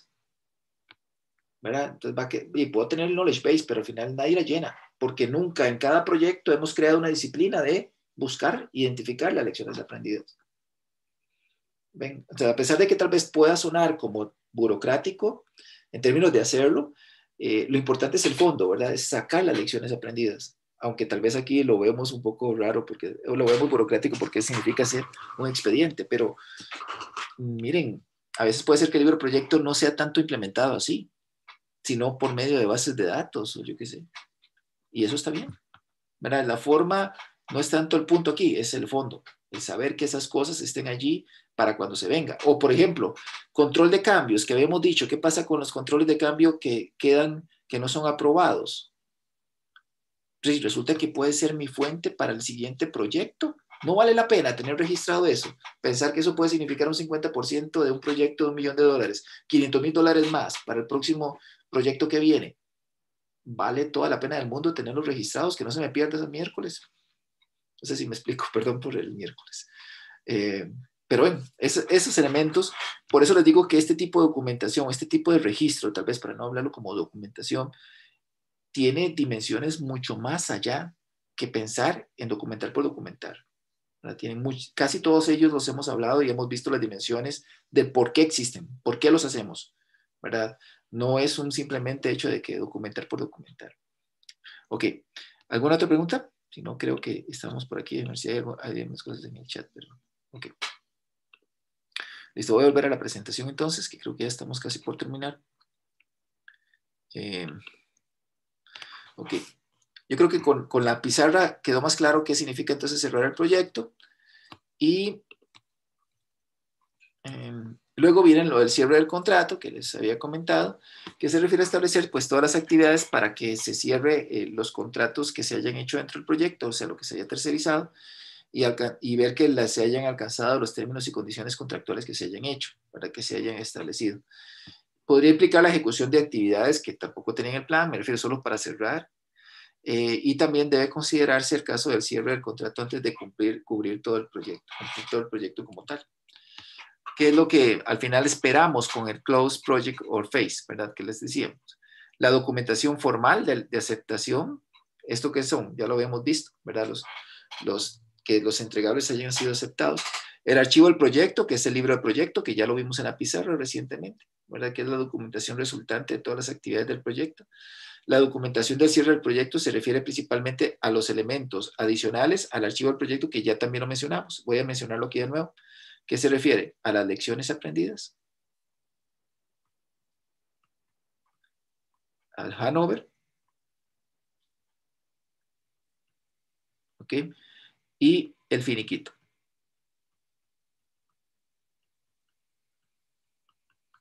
¿Ok? Entonces ven que lo que ya definimos en, el libro proyecto que ahí va.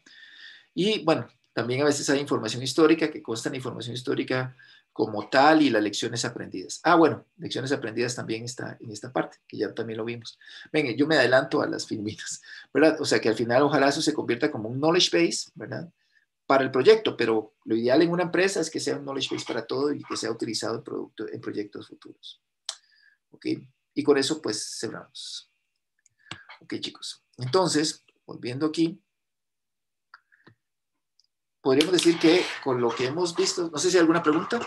Yo creo que con la pizarra esta principalmente ya queda claro, ¿verdad? Lo que hemos, lo que hemos visto hasta ahorita. Teniendo eso ahorita, me gustaría escuchar a ustedes, eh, algunos de ustedes, unos tres o cuatro personas, cuando nosotros empezamos el curso, ya digamos con eso estamos cerrando la teoría, creo que con eso podemos decir, ya sabemos qué significa hacer proyectos, esta parte de acá, ¿verdad?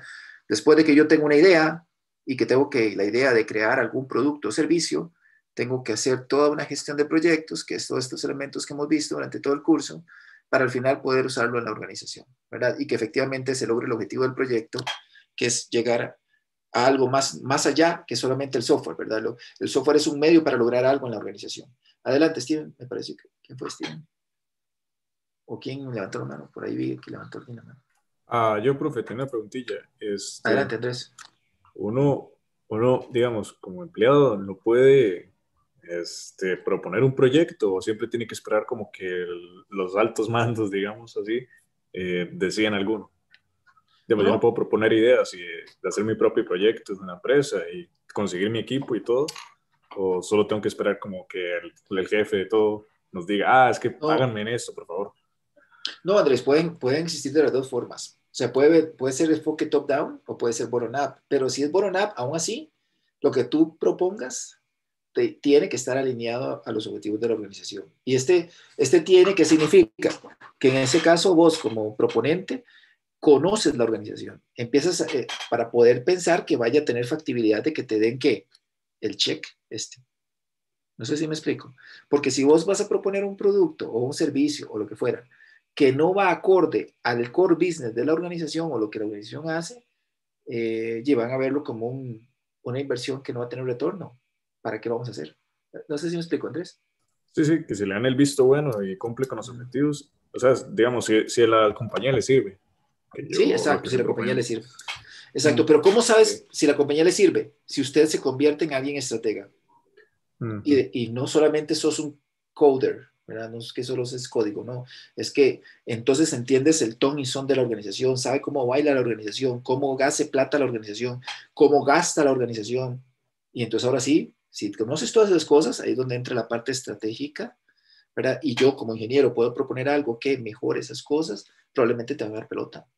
Pero si vos decís que qué chivo hacer eh, un CRM porque me encantan los CRMs, probablemente no te va a dar pelota. No, no, no va a ser como algo asociado. Y más, si tienes esa actitud de pensar desde esa perspectiva, es muy probable que terminen, termines teniendo, digamos, a cargo más bien muchas responsabilidades porque te van a ir dando más, más responsabilidad sobre las ideas que vayas planteando eh, y eh, empezar a jugar roles más, eh, vamos a decir, más estratégicos, digamos que podríamos decirlo desde esa perspectiva, no tan transaccionales. pero puede ser de las dos formas, Andrés. O sea, a veces vienen desde la organización, pensados por los altos mandos, o a veces puede ser que vengan, si la organización lo permite, bottom pero siempre pensando en que esté alineado. ¿Ok? Ok, entonces volviendo a la pregunta que iba a hacer, perdón, Andrés, no sé si hay algo más. Eh, no, no, solo era eso. Ok, entonces quisiera darme unos, unos 10 minutitos tal vez eh, para escucharlos ahora. Cuando yo, cuando empezamos el curso, empezamos hablando yo les dije a ustedes, ¿cuál es la expectativa que ustedes tienen del curso? Yo, yo no sé si lo recuerdan. Entonces yo les pregunté eh, y, y, fui por todos, ¿no? Y todos me dijeron algunos me dijeron no tengo ninguna expectativa, otros me dijeron tengo tal expectativa. Eh, quisiera escucharlo, digamos, escuchar si esa expectativa la pudimos subsanar. O sea, con lo que hemos visto hasta ahorita en la teoría, ¿verdad? Si ustedes sienten que el curso, o lo que hemos visto ahorita teóricamente, nos falta alguna parte práctica, ¿verdad? le ha dado respuesta, digamos, a lo que estaban imaginando en la primera clase, o que al menos no sabían qué era, pero que ustedes querían conocer. Entonces me gustaría escuchar a algunos de ustedes. Luis, adelante. Bueno, desde mi parte sí siento como que para para empresas así súper grandes o para el Estado, así como que uno llega como a un proyecto en específico eh, y, que está muy bien planteado y que tiene como todo un equipo de trabajo, siento que en realidad sí, sí es demasiado, demasiado necesario como este conocimiento y sí, sí, sí se aprovecha bastante como para incluso uno que, que tiene que al final de cuentas como convivir con gente de administración de empresas y así, tal vez como manejar cierto lenguaje en común, como para no estar ahí perdido, es también importante. tal vez como lo, único ahí como que me queda ahí una, una espinita es como, como ya como en, proyectos como de, emprendimiento y así, que, que, que todo es súper desordenado, muchísimo más desordenado, no hay, no hay tanta cantidad de gente como para dividir tanto los roles, entonces me queda como esa duda como de, de cómo manejar un proyecto eh, donde está casi que uno de Zoila, y tiene, y, que, pero que igual tiene que llevar a cabo el proyecto. Muy bien, puro vida. Gracias, Luis. Ojalá podamos ver si eso lo podemos resolver en la semana 15, martes. Porque efectivamente los altamente adaptables es para la innovación, ¿verdad? Pero lo, lo conversaremos tal vez ahí un poco más. Pura vida, Luis. Muchas gracias. Gracias por tu comentario. Esteban, adelante. Sí, a mí me, digamos, las expectativas eran más o menos así, que me ayudara a, a, saber cómo manejar un proyecto, pero el detalle es que efectivamente como este cuerpo de conocimiento, o sea, este eh, curso eh, realmente abarca muchísimo más de lo que yo esperaba. Realmente que abarcara solo un proyecto X ahí, que, que digamos, no, no, tuviera que ser tan, tan extenso, porque digamos, si esto lo queremos aplicar en un proyecto de, de, de ahorita, ¿verdad? De la carrera, Sería como tratar de matar moscas a cañonazos. ah, puede ser, sí. Ajá. Sí. Ok. Entonces, sí. Ahora, es muy importante también, chicos, ¿verdad? Que y, por el comentario que haces, este, muchas veces eh, todo el, la, la, el cuerpo de conocimiento, yo les decía desde el inicio, es todo. O sea, yo estoy hablándoles de todo, pero uno, como PM, dependiendo del tamaño del proyecto, determina qué tan extensivo es o no en el uso de las buenas prácticas. ¿verdad? O sea, no, no podría ser que, no sé, por ejemplo, sea un proyecto tan pequeño de dos o tres personas que la parte del riesgo no parece ser necesaria de manejar porque nos conocemos desde hace tiempo, la comunicación es súper fluida, y no vamos a ponernos a hacer eso. Pero tal vez si yo estoy diciendo que lo, al menos debería tener un, no sé, por ejemplo, que vos Esteban, vayas a hacer un proyectito de un camarón. Bueno, yo sé cómo le llaman ustedes. Eh, y, vas, a, vas a ir a una organización. Eh, que, y tal vez eh, vas a trabajar con dos compas más que se conocen muchísimo, que tienen una dinámica que ya saben muchísimo sobre la tecnología, y tal vez el manejo de riesgo no es importante, ni tampoco va a ser un plan de comunicaciones, tal vez porque no tengo mucho más que hablar con una persona. me explico, o sea, no me pongo a hacer todo esto. Me explico, puede ser que, como dijo también Luis, creo, o sea, una organización grande puede ser que el proyecto es tan grande que si no manejo estas formalidades, un error puede significar miles de dólares, ¿verdad? Podría significar eso. Pero en el, en el caso de que sea pequeño, eh, y puede ser que no tengo que irme allá. Y lo único que tal vez tengo que hacer es presentar un plan de proyecto que lo que tiene es el plan del alcance, el tiempo y el costo. Y el resto tal vez no me importa tanto. Porque mínimo debería decir cuánto, es, cuánto voy a cobrar, o, sea, no sé si me explico, eh, Esteban, con respecto a un camarón, ¿se entiende? ¿Qué se refiere? Sí, un proyectito ahí, no tan extenso. Sí, sí. Pero que usted va a ir a, que usted te están contratando, que hagas hoy, ahorita, hoy, ¿verdad? Usted debería dejar algo por escrito, por lo menos, que te están, que te están pidiendo, ¿no? ¿Y qué es eso? El plan del alcance, ¿no? Plan del alcance. Sí, el tiempo del costo. Eso, de hecho, es como, siempre lo he dicho, ¿verdad? Como lo más importante, como el, o sea, la cabeza, sí, toda la planeación. Perfecto, sí. exacto, exacto. Sí, porque mira, ustedes se van y no, no dejen nada por escrito. Yo recuerdo, una vez me, me dijo un estudiante, profe, es que puta, si yo hubiera visto este curso antes lo hubiera hecho, pero es que no lo, no lo sabía, hizo un camarón antes de ver el curso. ¿Y qué pasó? Y que resulta que decía, pero es que oye, mi cliente, mi cliente, ¿verdad? Y cada rato me pedía más y me pedía más y me pedía más y yo no sé cómo pararlo. Me explico, pero es que nunca firmaste nada al principio, o sea, no, no definimos que, tal vez no es tanto que lo firmen, porque tal vez sigue siendo informal, pero por lo menos por escrito, porque tal vez simplemente un correo que, o un correo que tenía un documento ahí, que tal vez no es tanto que entramos a firmas, pero por lo menos ya existe algo en lo cual yo pueda basarme, ¿verdad? Perfecto, gracias Esteban por su comentario. Eh, me gustaría oír a otro, digamos, eh, Austin, por ejemplo, ¿cuál ah, bueno, Dani, Dani, me está levantando la mano. Dani. Ah, bueno. Y, y después Austin. Bueno, tal vez, profe, a mí me gustaría, me gustaría aportar que yo tal vez aprendí tal vez como tres cosas importantes. Primero, que un proyecto es mucho más que un to-do list, como, como decir, definir las cosas que hay que hacer, es muchísimo más complejo que eso. Lo segundo podría ser de que planear las cosas resulta muy beneficioso para reducir el riesgo y para, para que las cosas salgan bien, ¿verdad? Si, si, se planean, salen bien y no solamente a cómo se vaya comportando, yo me voy adaptando, sino que ya tengo como un esquema para seguir, ¿verdad? Y, y, tal vez yo diría que lo tercero es que no solamente como para, o sea, el, la planificación de todo el curso, o más bien los tópicos de todo el curso no solo nos ayudan como para hacer proyectos para otras empresas, sino para nuestros propios emprendimientos o proyectos personales. Y tal vez, no sé, si en determinado momento yo quisiera hacer un emprendimiento y crear mi propia empresa, yo sé que tengo que empezar innovando. ¿Y cómo innovo? Pues haciendo un proyecto, ¿verdad? Entonces, pues eso me gustó mucho, profe. Perfecto, muchas gracias, Dani. Entonces, pues, digamos que eh, sí, sí sentiste, digamos, que, que tuviste, tuvo valor, digamos, la, lo, que, lo que viste en el curso. Eh, Austin, adelante y después Mau, sí. Marín.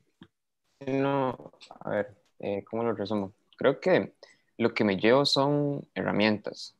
Um, siento que, digamos, todos los diferentes conocimientos que, se, bueno, que iba aprendiendo, o sea, me dan como un bagaje eh, general, ¿verdad? Bastante amplio de qué es lo que significa hacer un proyecto y que entonces ahora cuando, o sea, ya, ya no voy a empezar a ciegas un proyecto, porque yo ya sé estas cosas, entonces ya sé, ok, bueno, tengo que tomar en cuenta, como usted dijo, o sea, apuntar las cosas para el alcance y, y efectivamente uno tiene que, a partir de todo esto que se aprendió, eh, o sea, no usarlo todo, ¿verdad? sino que uno, o sea, pensar como ingeniero, o sea, uno busca qué es lo que mejor se adapta a la, digamos, el proyecto que está desarrollando. Um, y sí, entonces eh, siento que es algo muy útil tanto desde el lado de la carrera de uno como en cualquier otro emprendimiento que vaya a tener uno en un futuro. Y, y pues sí, eso sería. Muchas gracias, Austin. Mau, ¿cómo te fue vos con las expectativas? ¿Se cumplieron o quedaron ahí a, a mí? Sí, profe, yo al principio solo pensaba como administrar, o sea, como solo yéndome con el nombre porque no sabías cómo así ah, administrar un proyecto, es como tal vez ver como documentación o tal vez ver un poco de teoría y todo eso, pero a fin de cuentas es como más que todo cómo es que uno puede como meterse en la industria tanto para que no se aprovechen de uno y uno también pueda tener como un control del trabajo que está haciendo. Entonces sí, como dijo usted, o sea, al final con esta clase uno tiene como muchas herramientas para saber cómo hacer el trabajo, no solo hacerlo bien, pero sino hacerlo eficiente, hacerlo como muy durable para el futuro. Entonces, no sé, como todos los diferentes pasos y todos los, como las etapas que tiene un proyecto, jamás me imaginé que iba a ser así, pero es como muy completo a final de cuentas. Entonces okay. sí, me gustó bastante la clase. Pura vida, gracias, Mao. Edgar, adelante. Eh, no, profe, sí, digamos, como han dicho los compañeros, y de hecho, eh, así pensé casi que igual como dijo Dani, que un proyecto no es nada más así, un to-do list, así nada más decir, sí, hacemos esto, esto, esto. Hay muchas cosas por detrás y también que influye mucho lo que vos decías, tal vez como tener esa, ese tacto con el cliente y esa relación entonces para que el proyecto salga mejor. Y también algo que iba a comentar es eso que, que vos decías ahora, que te decía un estudiante, lo de, lo de que había hecho un camarón antes del curso. Eh, sí, que uno no, no, no, no, sabe cómo, cómo decir que no, digamos, a, que ni dice, bueno, entonces tal cosa, bueno, esto otro, esto otro, y uno dice, pues bueno, y ya cambiaron sí. un montón de cosas. Entonces, sí, sí. Ahora, es importante, ¿verdad? Que a la, a la, hora de definir el alcance, pues también ocupo mi técnica de, de, ingeniería de requerimientos bien, bien, bien afinada, ¿verdad? Para que mi alcance quede bien, ¿verdad? Eh, ¿verdad? Para que no sea que luego a pesar de que puse en el documento una sección de alcance, no era una buena sección de alcance ¿verdad? para poder controlarlo. Entonces, pues ahí también tenemos que hacer, echar mano de lo que aprendimos en requerimientos, ¿verdad? En, en algún momento, que es ya parte de la ingeniería, ¿verdad? Propiamente. Pero muchas gracias, Edgar, por, el comentario para, para ver. Y no sé si me gustaría tal vez escuchar a alguien, alguna, alguna chica, no sé, María Paula, o sea, porque son poquitas y bueno, de ahora solo veo a María Paula. No está Lindsay ni está. Y solo está María Paula, Paula, eh, te tocará a vos. María Paula, ¿oíste? ¿Podrías por favor comentarnos? Eh, no, no, que como mencionaron Dani y Edgar, uno ve que administrar un proyecto no es solo llegar y como uno que le dan, no sé, en intro, bueno, en taller, que le dan un proyectillo y uno es como, tengo que cumplir con esto y esto y esto. Aquí uno también ve cómo se relaciona con otros cursos, como son también diseño, y ve que un proyecto involucra varias cosas, como que esa parte es como de administrar y que los desarrolladores no, no se meten solo aquí, sino también en la parte de diseño cuando le dan como el modelo de cómo tiene que ser el, la aplicación que uno está haciendo. Entonces digamos que ya uno como conforme avanza en la carrera va viendo como en realidad todos los conjuntos que tiene hacer un proyecto, que no es sí, como en intro, quiere hacer un, hay un cuatro en línea, todo, y haga eso y eso es todo. Entonces, eso sí, es todo, sí. Sí, sí, entonces ok. sí, en realidad sí, sí aprendí más de lo que esperaba cuando al principio, di, no sé, tenía como una expectativa muy diferente en comparación a lo que ahora es administrar un proyecto en realidad. Entonces sí, sí me Muy gustó bien. bastante el curso. Y, y un- muchas vida, gracias. Eh, Dani, adelante. Sí, profe, nada más me gustaría agregar que estaba pensando, de hecho, profe, yo, yo me atrevería a decir que este es el primer curso donde realmente uno es consciente de cuál es el valor de su propio trabajo, porque en los otros Es cursos, cierto. En los otros cursos nada más te dicen haga, haga, haga, y uno hace, hace, hace, pero no sabe cuánto vale lo que uno hace, en, en- digamos, en cuestión de tiempo y dinero, ¿verdad? Entonces yo diría que sí, como que este es el primer curso donde se tocan temas como, el, como la plata o el tiempo también. Ok, perfecto, muchas gracias. Y, y un último detalle, tal vez, eh, el, en términos de, de lo que significa, yo no sé si percibieron, bueno, que es un elemento que yo quería que ojalá ustedes pudieran percibirlo, pero quisiera confirmar si lo percibieron, que hacer proyectos es más que solamente un elemento técnico o hacer más que solo ingeniería. Digamos que hay un asunto socioemocional muy importante también que hay que gestionar. ¿Eso lo, lo pudieron percibir? ¿O, o qué conclusión Eh, podrían tener sobre En eso? realidad, sí, digamos, el tener como esas reuniones con Don Aquiles, digamos, usted haciendo de Don Aquiles, eh, a uno le ayuda como para darse una idea de cómo uno tiene que interactuar con, con los clientes, como la parte que usted nos dijo de que utilizáramos la cámara como para que la otra persona pueda ver como las expresiones y uno pueda entender como si le está gustando lo que uno está diciendo o no. Entonces, como que eso también es muy importante. Y si hay un desacuerdo, saber cómo controlarse uno, no, y no sé, no, no hablarle de mala forma al cliente o cosas así. Perfecto, muchas gracias. Y, Esteban, y- ah, ah, bueno, perdón, que me le metí a alguien ahí. Esteban, Jesús y después Luis, y listo. Y terminamos, yo creo. Esteban, adelante. Eh, me quedo, me quedo con esa, con esta, digamos, eh, esta buena experiencia de, de su parte que pues, ha sido, pues, pues, eh, ha desempeñado el rol de PM en varias ocasiones y, y bueno, nos ha dado esa, esa perspectiva que también nos deja que no, no, no solo hay que hacer esto, digamos, porque es formal, sino porque, dije, evidentemente en algún momento nos pueden tratar de, de ahí apuñalar por la espalda o algo así. Entonces, para tener ahí las herramientas con las que uno poder defenderse de esas situaciones, porque, por ejemplo, Sí. que, que nos hagan una demanda o algo así, uno debe saber que tiene que tener los, eh, los, los registros, ¿verdad? De todo lo que se ha hablado durante el proyecto y todo eso. Entonces, me parece muy valioso eso. Pura vida, Esteban, gracias. Eh, Luis, ah, Luis y después Jesús, Esteban. Y después Esteban Jiménez. Adelante, Luis. Yo primero, al- alguien antes de mí, no sé si era Jesús o... Ah, Bueno, entonces eh, Jesús, bueno, Jesús Esteban. Adelante. Ok, ok. Sí, no, eh, respecto a lo que usted decía y tal vez complementando un toque lo que decía Paula, que tal vez eh, es más que solo el, el trato con el, con el sponsor, ¿verdad? O, el- o la persona que, que requiere el proyecto, sino que también es una administración socio- socioemocional hacia lo interno del equipo, ¿verdad? O sea, sí. en realidad el, el equipo también son personas, son personas que hay que, hay que tratar, hay que ver conflictos, hay que ver de cómo se sienten, si, si, si todo está funcionando bien a lo interno y, y, yo siento que también es, es una administración hacia, hacia, adentro, digamos, no, no, tan, no tanto no, sino que sí, hay que tomar en cuenta las dos partes, ¿verdad? Entiendo. Pura vida, gracias. y Luis. Y, y no, digamos, agregando justamente a eso mismo, también, al, al, menos a mí algo que me pasaba, que me pasaba muchísimo en un inicio cuando, cuando estaba en alguna empresa en, trabajando, era como ese miedo que le da a uno cuando, o sea, cuando apenas está iniciando y, y, le toca hablar como con el cliente, ojalá sí sean como clientes en Estados Unidos o, o así, y, o, algún, o algún proyecto así súper grande, que, que, uno siempre tiene como miedo que, que, al final se traduce como incertidumbre, por así decirlo, y siento como que este proyecto en realidad a uno como que le enseña que, que ya a la hora de hablar con un cliente, uno no debería tener como ese miedo y, y, debe tener como esa confianza de poder decir las cosas porque uno se supone que tiene el conocimiento sobre el proyecto, digamos, no, uh -huh. no, no, debería haber nadie que conozca mejor el proyecto que uno, por así decirlo. Entonces, sí. Debería haber como esa confianza como para poder hablar con un cliente totalmente transparente. Perfecto. Bueno, no, muchísimas gracias chicos por los comentarios. Eh, eh, yo siempre me tomo un, un poquito de tiempo para, para, para entender, ver el feedback y además así hago, en cierta forma, esto que acabo de hacer es un control de calidad.